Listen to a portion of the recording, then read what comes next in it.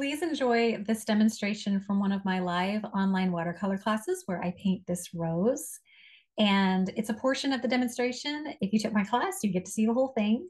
And if you think you'd like to join one of my classes, I have links below where you can do that and find out more information, but I'll also talk about it after the video is finished. Enjoy.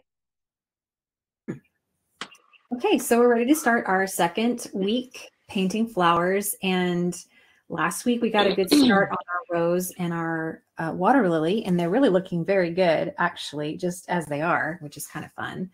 And um, so let's look at the references again and just sort of talk about the game plan. Okay.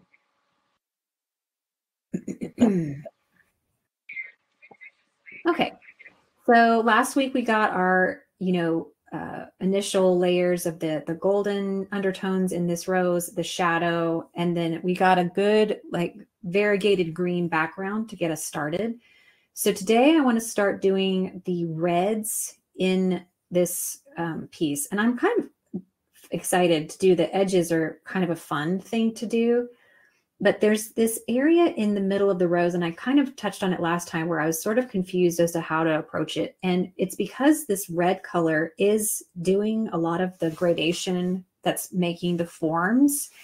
And so I'm going to start there before I start doing the deep saturated colors um, because once I start the saturated colors, I don't really want to play with them very much. I want to leave them alone.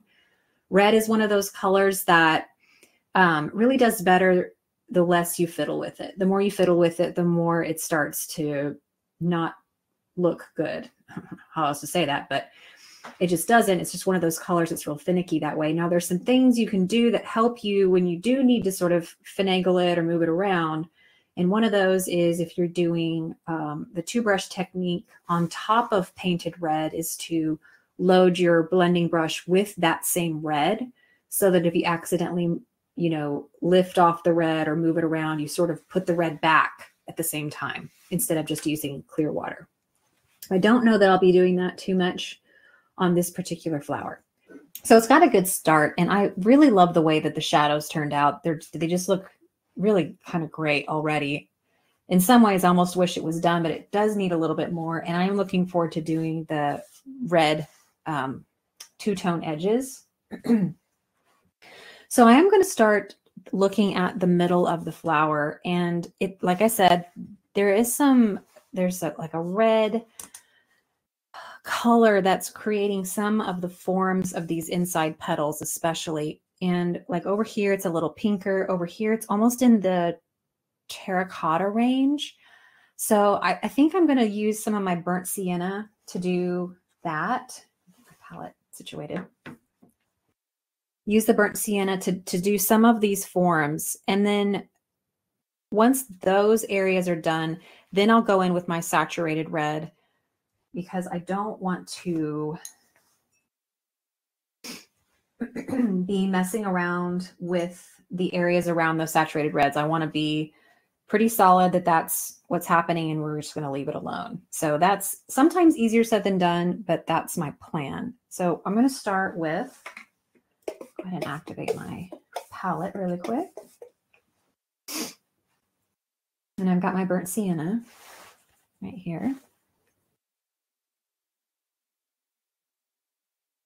A little too wet right now because I just squirted it, but we're just going to move along. Hopefully, dry my brush off a bit. Okay, so since this area is very complicated and it's easy to get lost in here, I'm going to remind myself that I'm painting forms and shapes. I'm not painting petals, so it helps me to get in the right headspace.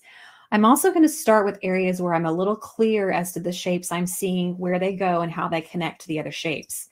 Um, you know, set myself up for some success rather than making this hard to start with. Sometimes that helps when you are painting something really complicated is to um, paint what you're sure about. And then hopefully the context that you're building as you work your way around that form will continue to add to the confidence you have moving forward as you're working on your reference.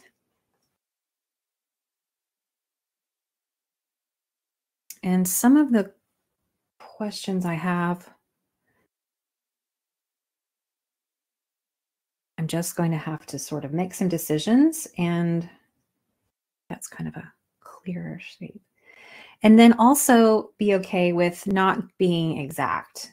Um, you know, if you're kind of the same personality or similar to me, you like like the challenge of recreating what you see, but sometimes it's good to just know that you've got to have that artistic license and it helps you um, just to have that um, piece about, you know, it's okay if you don't quite get it right or if you miss a spot and you have to sort of jiggle things around a little bit. And I know that's going to happen in here because my drawing's really light and I think I probably could have made it a little more clear and that's okay. So that's on me. But um, I'm going to also, as I'm painting here, I'm thinking about possibly even simplifying some of the forms I see so that it will read the same when you're looking at the the finished painting, but it's going to, you know, just make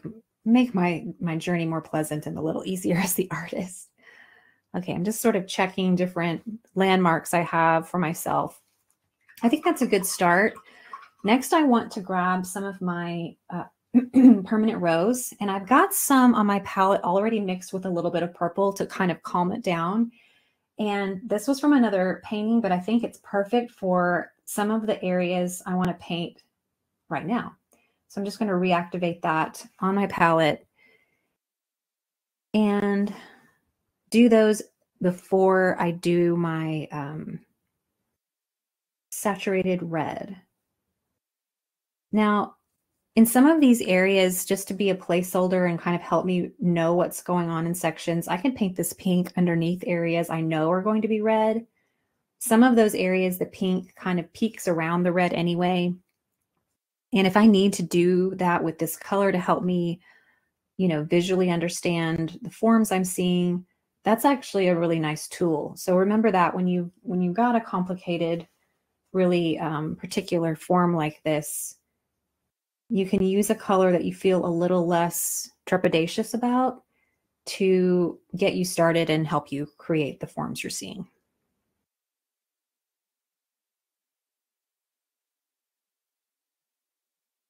I can already tell I'm going to get in here and just simplify a lot of what I see because I think partly I I did that in my drawing and I forgot that I had done that or I just got tired and stopped drawing all the petals I saw, which is, it's a, you know, it's a choice.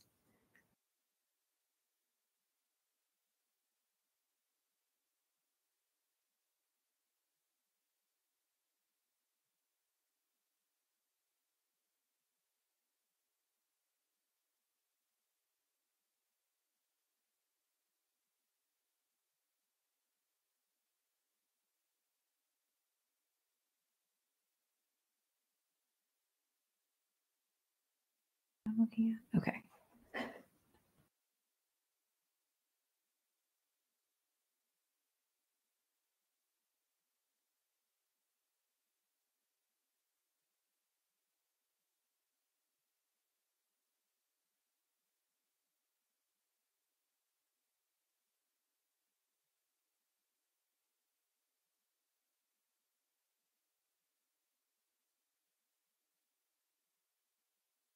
Again, I'm just using my second brush to soften edges. I want to keep clear, sharp edges on some edges of the, or parts of the petal, and then some areas as it folds or um, moves in space, changes value, I'll use that clean brush to soften the edge to create a, a light gradation and then a softer edge. And again, I don't want to erase the color I paint. I just want to touch an edge, or like the shape of the color I'm painting. Okay, I think that's a pretty good start for the middle. Um, what I'm seeing for the rest of the middle, I think I need to do with the red. I'm going to look around the outer petals and see if there's anywhere that I want to get this pink peeking around. And then I might start a little bit on the outside while this is drying just to give it a minute to dry and be hmm. I'm seeing some spots, but I'm not sure if I just want the red to soften or if I want it to truly turn into the pink.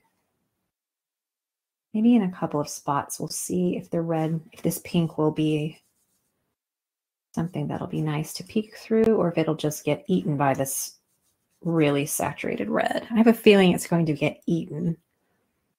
That's okay. So I'm not going to do a lot of that. Okay. Okay.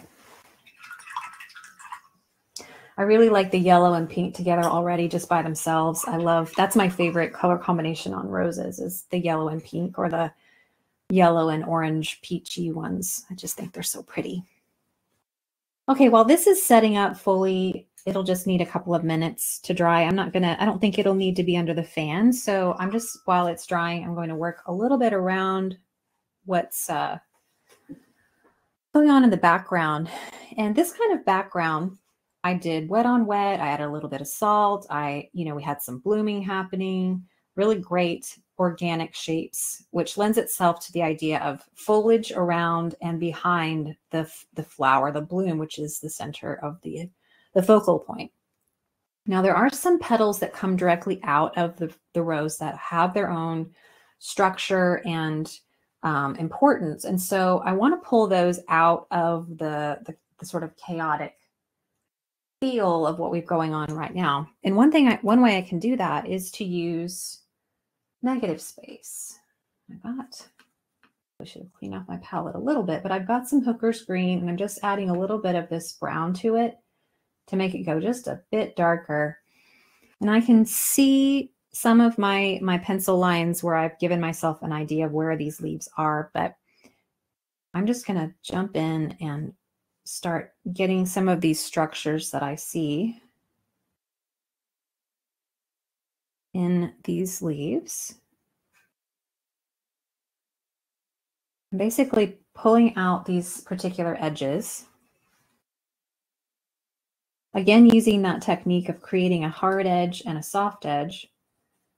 So the softer edge will visually blend a little bit into the background. Now I can encourage that more here in a minute. And I, you know, maybe by making this shape turn into, you know, floral-esque shapes a little bit more. I don't want it to be too structural because I really just want these particular leaves to stand out.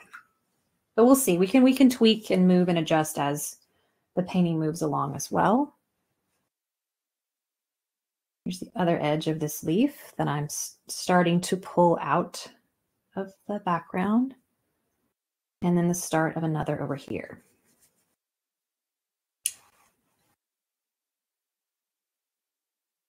I don't really want there to be like this dark halo effect. So I'm going to have to be a little bit careful about how I'm um, doing this, coming in and out like that. This leaf, there's a leaf right here that's smaller and it's got a little bit of a shadow on it. I'm going to see if I can do, use that shadow to create an edge, part of the edge. And then use the inside of the leaf, a little bit of hooker's green by itself to create the edge, just directly painting the subject matter, which is the positive space, like you would sort of initially think you would paint something. I'll just bring this green in and it gives that a little bit of shape. Okay, I'm not sure if I'm loving how this is going, but it's it's going somewhere. So I need to work on this leaf here and I'll do the same thing. I'll grab some of this hooker's green and I'm going to add some of the positive space, but letting the background color still come in into the leaf.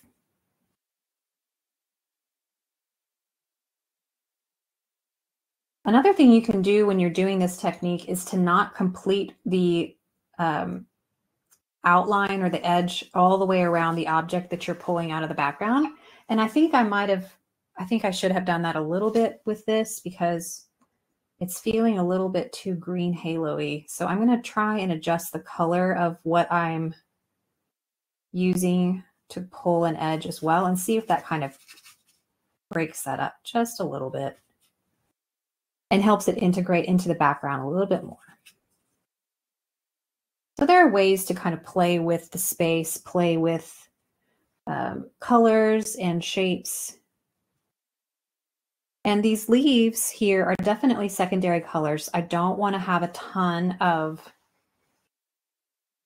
detail in them. I don't want them to over overpower the bloom. I don't think they can. This bloom is going to be pretty, pretty intense by the time I get done with it. Push that shadow a little bit. There's not a lot of, of leaf happening here and then just a little bit more. And then the stem kind of uh, sneaks in here. So we've got some more shadowy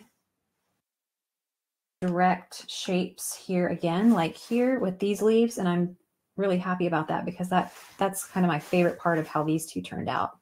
I might even push this back into the background a little bit more. It's bugging me a little bit.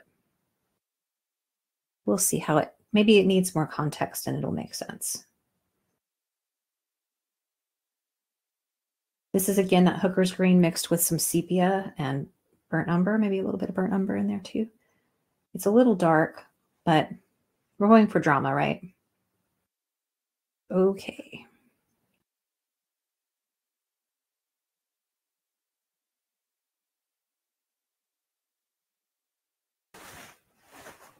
And then the leaf continues here, but I'm going to go ahead and get these dark shapes in first since I've got it on my brush. And they're very sharp graphic shapes. I don't have to really blend them or help them fit in on something. So they can be very sharp and stand alone, which is nice. And I can just keep painting along.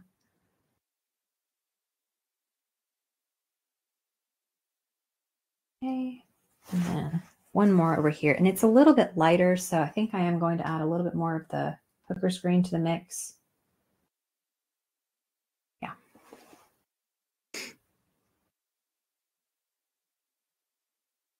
It's going to be subtle, but maybe it'll be good.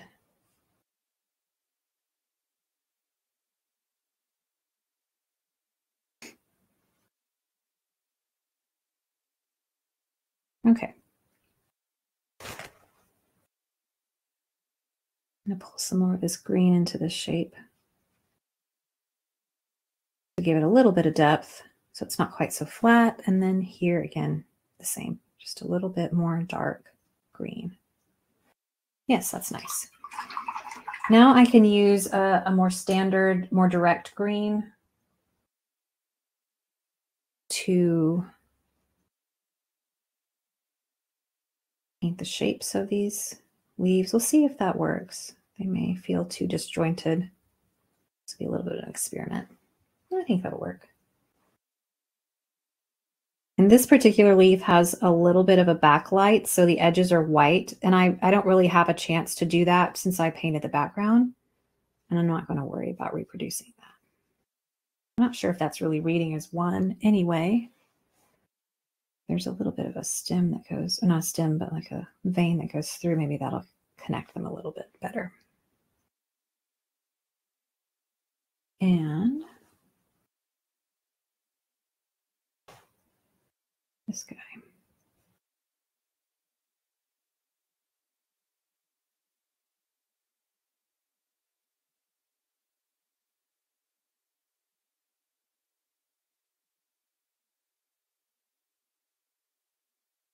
Hmm.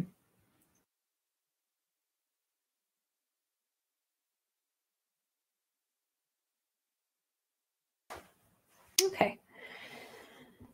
And then back in here, like in the photograph, the stem is like right under here, but since I cropped it so close, I'm going to pull the stem implica implication right back here instead. I may even add a little bit of a thorn for fun.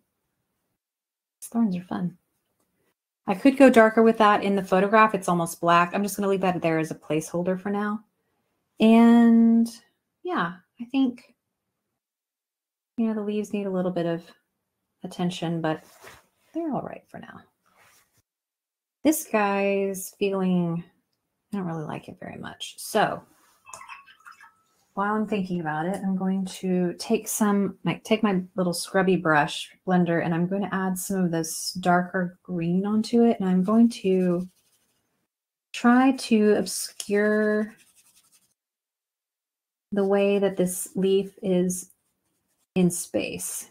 And what I mean by that is I'm just going to make it not as clear where it stops and starts um, because I just didn't really like the way it looked. So I'm going to push it back into the background a bit because I just didn't, wasn't feeling it. And because I have this really abstracted background, it's disappearing very nicely. Now I can leave a little bit of implication that there's a leaf shape over here. I kind of like that this is blooming a bit. That'll be a nice shape to imply that there's a leaf, but it's not as clearly shown. I'm still not 100% loving this. I can still work on this more, but for all intents and purposes, that'll work. I think if it's framed and matted, no one will even care about the leaves too much. But once they're dried and situated and I have more context, I'll have more information on how to make them better. So let's grab some of this red before I run out of time. And start, I'm to work with a smaller brush. I'm to start with my little number four have my blender brush ready and I'm going to use my Winsor Red just like straight up. And my goal is to get these shapes established in two passes or less, preferably in one. There's a couple of places where I'm going to need to go darker, like the very center. But I think I'll be able to go to get these, you know, basically in one. And really, it's just because the color, this color, just doesn't like to be played with very much. It doesn't like to be messed with. And I'm going to start in the center and work my way around, hopefully to help me not lose my place for one thing.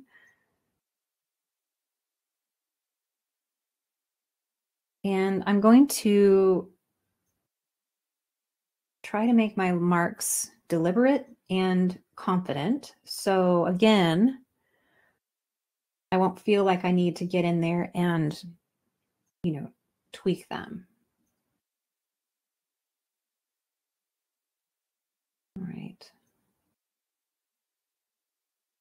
I'm not sure, sure what I'm looking at. So I'm just guessing on some of this visual information again. That same problem was coming up.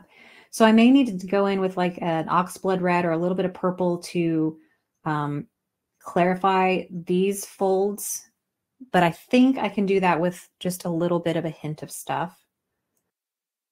Now we start to get into these funny little shapes where I'm not, again, sure what's coming and going.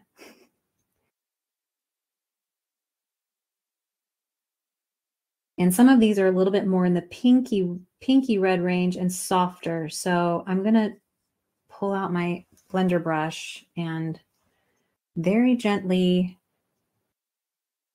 make some choices.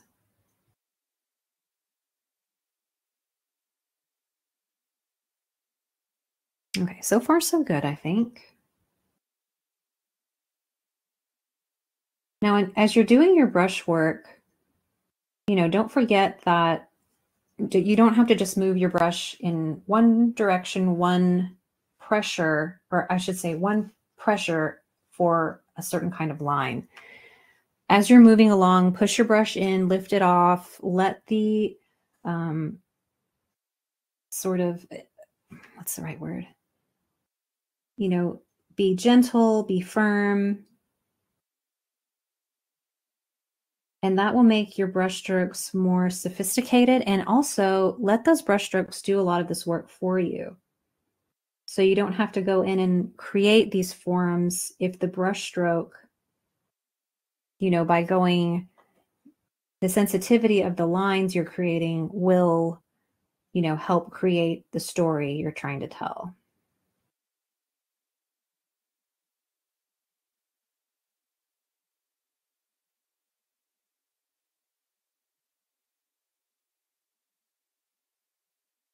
In some places.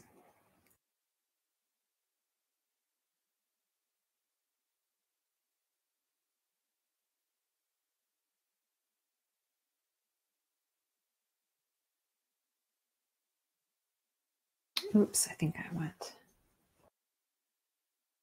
I didn't know what I was looking at right there. So trying to get that off.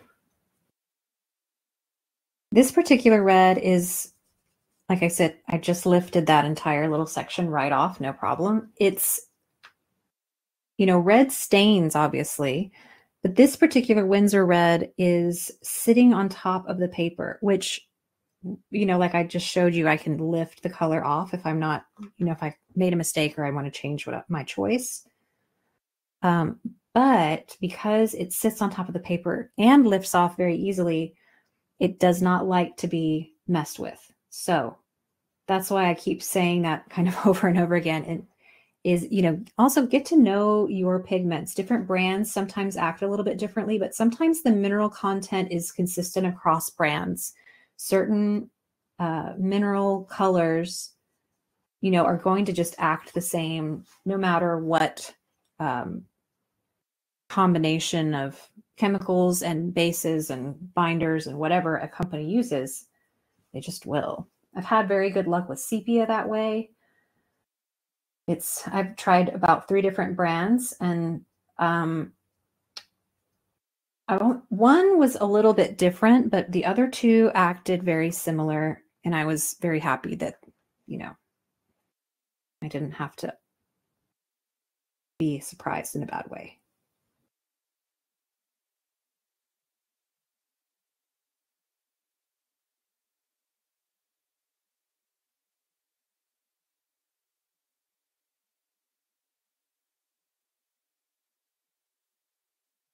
Now, the trick with something like this rose is, you know, you have these very bright, very graphic moments with these flowers and making those graphic bright reds, especially in this, fit into the whole of the structure of the flower without feeling like they're stuck on can be a little bit of a challenge. And I'm seeing a couple of moments where I'm thinking, I don't know if that's going to you know, read like I want it to. And it, you know, might not. So I may have to go in and adjust based on the context. I'm, you know, more information as I'm painting.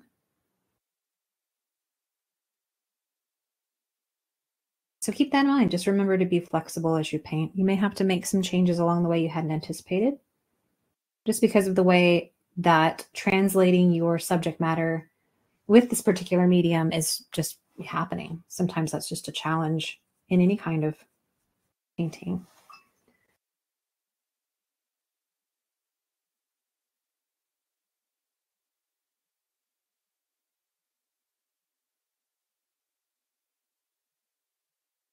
I like working from photographs um,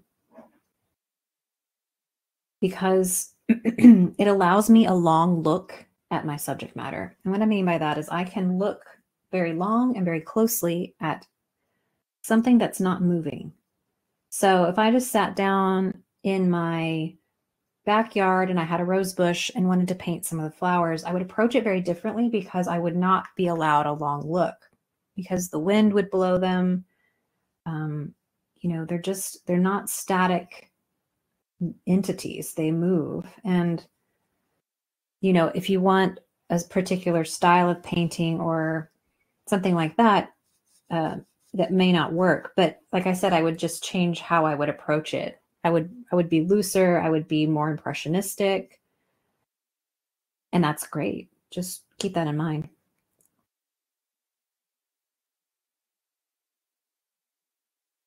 I find that some people are, you know, very much prejudiced prejudiced against using photographs, but you know, for certain things, I think they're superior. And then for certain things, they're not. Just like everything, there's no real absolutes. I don't think in anything really. Okay, I think it's coming along nicely. I'm starting to see it and understand it's it's the way that things are landing in space. Um, I'm also seeing places where my drawing isn't quite right and I missed a petal here and there and and I'm trying not to dwell too much on that. I think it looks great. Oh, thank you. It looks you a know, lot better than mine. oh no. Well, I don't know about that, but I, you know, roses are I, I enjoy them, but they're also just this like you almost love to hate them because they're just so complicated. But if you're if you're okay with you know delving into them, sometimes the reward is worth it. The the the pain of trying to you know pick it apart. Okay, I think I'm going to just keep moving out. um, the center's reading okay for me. Again, like there's a few moments where I'm like, I don't think that's quite right. But as I'm just looking at it, trying to be a more objective, like if I didn't know, if I wasn't looking right at my reference at the same time, I think I would be like, oh, okay, I buy it. So that's another thing to remember is, you know, you don't have that reference as I'm fiddling because I can't stand it. You won't have that reference next to your painting 99.9% of the time, as I like to say. Um, so don't be so hard on yourself. or you shouldn't, for goodness sake, unless that's the whole point of your, excuse me, exhibition is to paint. And I feel like if, if that's the case and you want to compare how closely you you painted to a photograph, then you're actually painting the photograph more than you're painting the subject matter. And that's a little bit convoluted, but um, it's it's kind of a thing. Some people paint photographs. They're called photorealists. And their paintings aren't like how a human eye sees, they're how a camera eye sees. Because you know you've seen mm, those paintings, yeah you've seen those paintings of people that are photorealistic and you see every pore in their face. Like i have never seen every pore in anyone's face much less my own. So yeah. um while it's fascinating and, and who wants to i know sometimes i'm like i really think i don't need to see all the pores in this person's face but but it's but it, you know it's still like an accomplishment and it's there's a beauty in it but it's I don't think people really talk about enough that that is a painting of a photograph. It's less of a painting almost than the subject matter. So, and that's a, it's not, I'm not saying that's bad, it, but it is something worth kind of noting. Like, oh, okay. I try to paint my, I try to, for me, I try to use the photograph as a tool to help me understand how my subject matter you know is affected by light and the space it's in.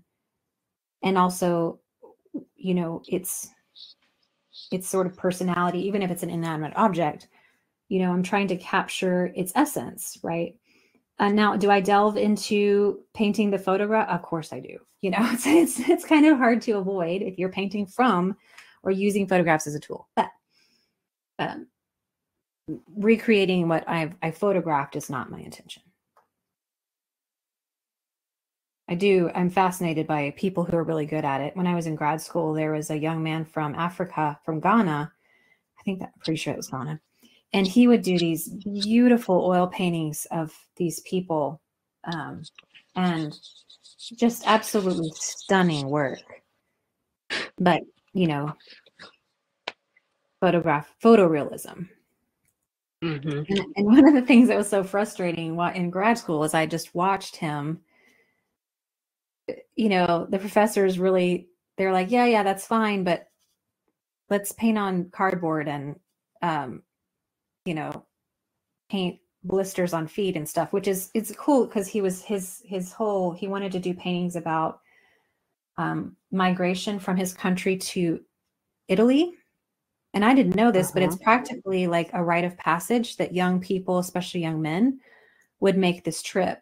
But I think he said it's like 50% chance you'll make it alive. It's crazy, but it was like it was almost expected of you at a certain age. try you, try, you try to cross in these, well, you know, you, you basically have a life jacket and a raft trying to get to Italy to get a job. And he's like, I'm in America. I I went to school, so I didn't have to do that. But my friends did, and some of them are, are dead. And and I was just shocked. And I was like, yes, you need to make art about this because that's I feel like that's a really important thing. Anyway, To let But- people know.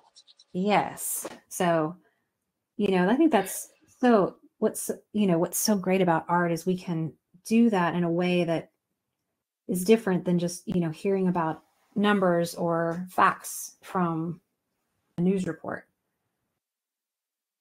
Anyway, but he's I think he's going to graduate this fall and I'm really proud that he's still in the program. He's going to make it out and but he's already a master painter. I mean, when I saw what he came in being able to do, I was like, "Oh my gosh, we are so lucky to have him in our program. Please don't scare him away." Yeah. Like, please don't ruin him. Um, but yeah. Anyway, I still appreciate people who have that technical mastery over a medium because not everybody does. And that's okay. There are people who are so good at abstraction and impressionism, you know, that I'm just in awe of them as well. And that's just a different kind of technical mastery. Okay, as I'm working on these, um, I'm looking at my photograph of my subject matter and trying to sort of analyze what, how these this variegation is like reacting on these petals, and it's it's really interesting. Sometimes it almost looks like linear, and then sometimes it's very granular, and so my first pass, I'm just kind of doing that scumbling technique along some of the places where it looks more granular. And then I'm pulling out in a few places it looks linear. I think I'm going to need to go in and soften moments because it's not jiving with me yet. That's okay. But I'm just sort of making that observation. What time is it? Oh dear. Okay. All right. So I think what I need to do since I have 15 minutes left of class and I've been absorbed in this rose is um, stop and do that. So I'm going to take my blender brush and I'm going to go in and I'm going to soften, not consistently, but sort of um, let the water and the paint organically kind of do that for me. I'm not going to do any softening with any particular um, intention. I'm going to let that just kind of happen. And hopefully that will look more natural than if I'd gone in and be like, I want it to look, you know, I don't want to obliterate the texture I've made. And I want it to look more like it, it is in nature. So I'm just gently reactivating these edges and letting some of them be softer than others. And I'm not even looking at my photograph at this point for that guidance. I'm just going to let the water and the paint do their thing trusting that sometimes when you let the paint you know like in wet on wet if you just like let it go and you're it can just do so many more beautiful things than if you tried to control it all the way around. Sure. and i think it's, i think it's working for me. I'm, I'm feeling i'm feeling it a little bit more. I like that better. Now you know to finish this part up, I definitely am going to do a little bit of that and a little bit of this on these petals.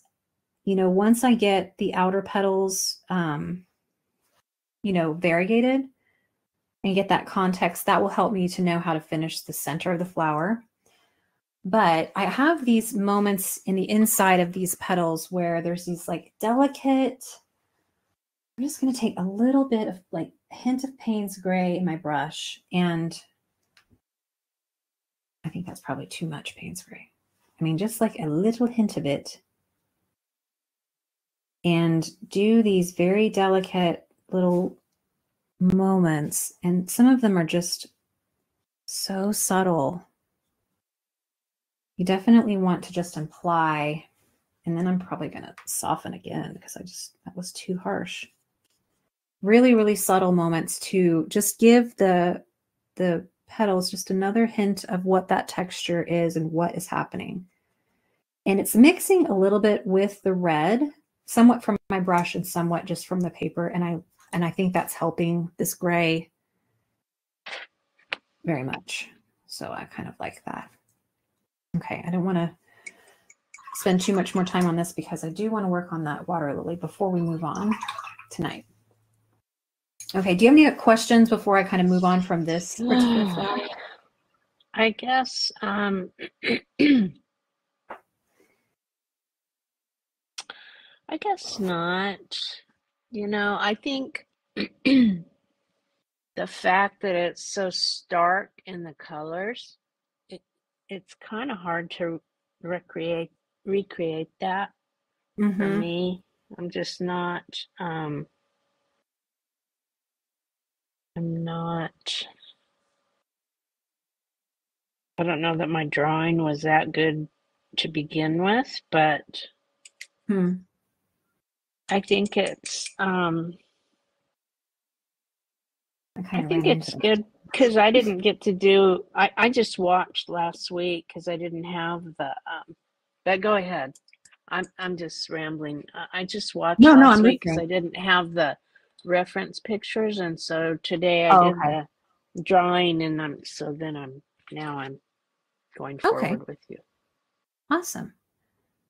Well, I, you know, some some of my students paint along with me. Some of them watch me and then paint something else. So I never know what you guys are all Yeah. doing. But so are you are you commenting that right now this painting looks too like it's not feeling uh, integrated because of the contrast, or are you talking about your own painting?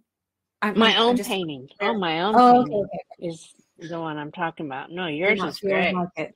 Oh, I mean, I I mean I I too, I just want to I make I know. need I think the top of my rose needs some darker edge and I think that'll bring it out.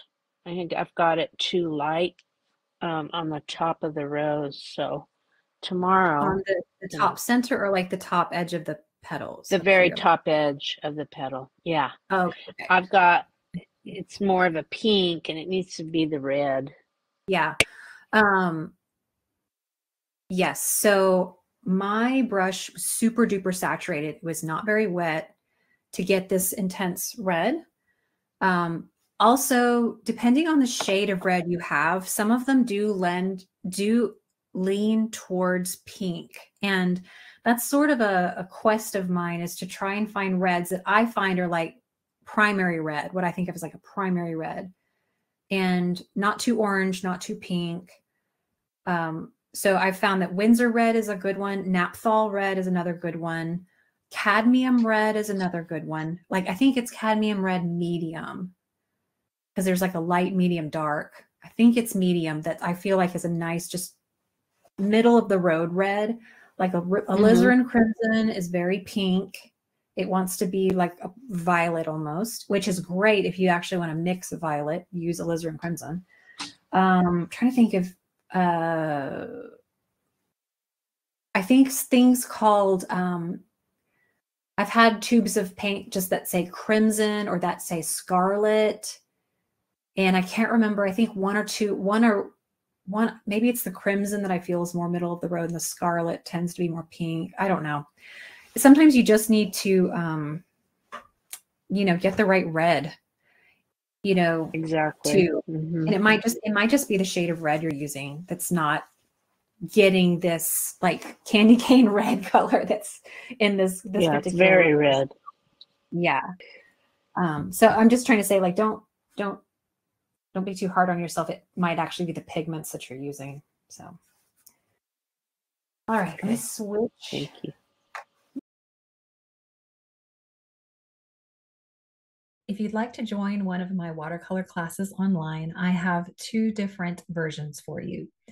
I have a live class and I have pre recorded classes. So, my live classes um, meet weekly on Tuesdays, I offer a morning class and an afternoon class. You can choose whichever is more convenient for your schedule. And we meet um, all the Tuesdays of a month, mostly. Uh, and then each month, I start a different subject matter. So one month might be flowers, the next month might be animals, the next month might be line and wash technique, the next month might be painting glass. So you can jump in whenever you're interested in a subject matter, or you can just keep taking the classes and just learn all of the different things. I teach my classes in a way that you will learn all the techniques with each subject matter. Doesn't really matter. And you're always welcome to paint whatever you'd like to paint during that month and get feedback for what you are painting. I offer um, feedback through the modules, the, the lessons for each week that you'll get through the website. And then I offer in the live classes, you can get feedback live if you wish. And you can also ask questions in real time, which is really a benefit. But those live classes are also recorded. So if you have something scheduled and you have to miss, you can just watch the recording later. You do not have to be on camera. You do not have to be um, speak up or talk or anything. I don't call you out. I mostly just um, have it maybe a short lecture about our technique, show you some artist inspirations, and then I just jump into my demonstration and I just talk throughout the painting so you know exactly what I'm doing and why I'm doing it. And then you can jump in and ask questions if you wish. So you can paint along, you can paint after class, whichever works for you. My recorded classes are compiled from my live classes. So I'll take different um, recordings from the month whichever month I'm doing, and I'll create a recorded class. So you'll get four weeks of content through that as well. And then you can just literally just watch that at your convenience whenever. Um, you don't get the live feedback. And right now, I do have a feature where you can email me if you would like feedback on your on your on your paintings. But if I get overwhelmed, um, I may have to shut that down.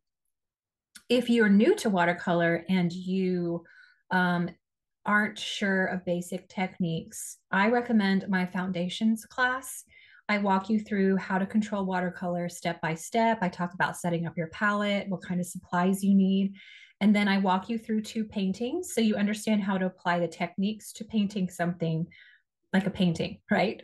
Um, and I do recommend that class, although I feel like I um, am very beginner friendly as well because I definitely want everyone to understand how to control the, this medium. I understand a lot of people don't get um, very thorough instruction with watercolor, and I aim to rectify that with my um, classes. So if you're interested, you can find the link below in the caption about how to find what classes are available and how to sign up.